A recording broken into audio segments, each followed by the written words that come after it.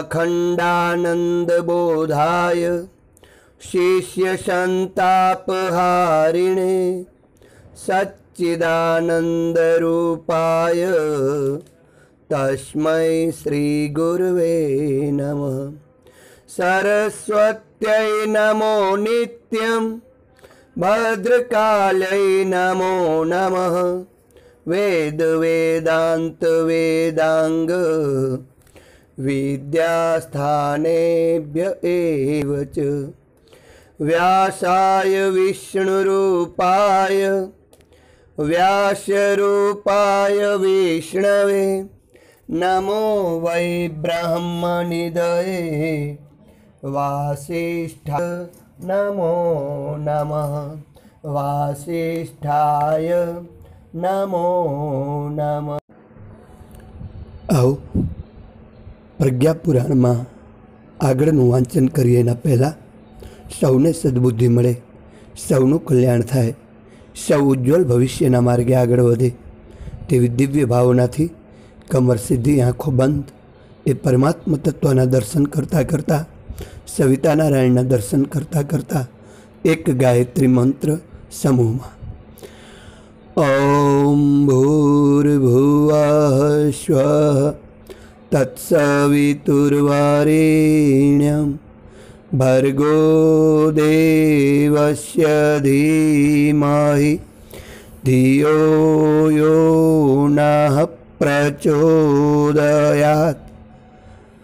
गृहस्थाश्रम धर्मस्य परिपालनमप्य हो योगाभ्यास इवास्तिह संशयमादात्मन सदा।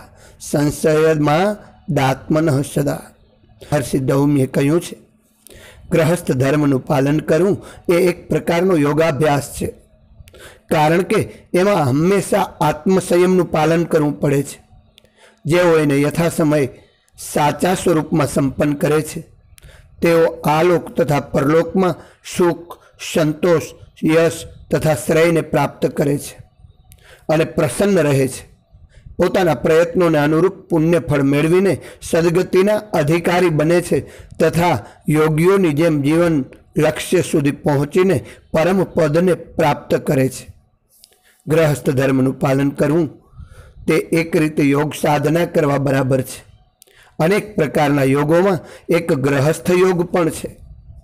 એમાં પરમાર્થ, સેવા, પ્રેમ, સહાયતા, ત્યાગ ઉદારતા તથા બદલો મેળવવાની ઈચ્છાથી વિમુખ રહેવું એ આ દ્રષ્ટિકોણ મુખ્ય છે. આ યોગ મહત્વપૂર્ણ, સર્વસુલભ તથા બહુ ઓછી મહેનતે સાધી શકાય એવો છે. યોગના વિવિધ સ્વરૂપોનો એક જ હેતુ છે આત્મભાવને વિસ્તૃત કરવો. તુચ્છતાને મહાનતા સાથે જોડી દેવી. ભગવાન મનુએ કહ્યું છે કે ગ્રહસ્થાશ્રમમાં પુરુષ તેની પત્ની અને સંતાનો આ બધા મળીને એક પૂર્ણ મનુષ્ય બને છે. એમની આત્મીયતા ક્રમશઃ વધતી જાય છે.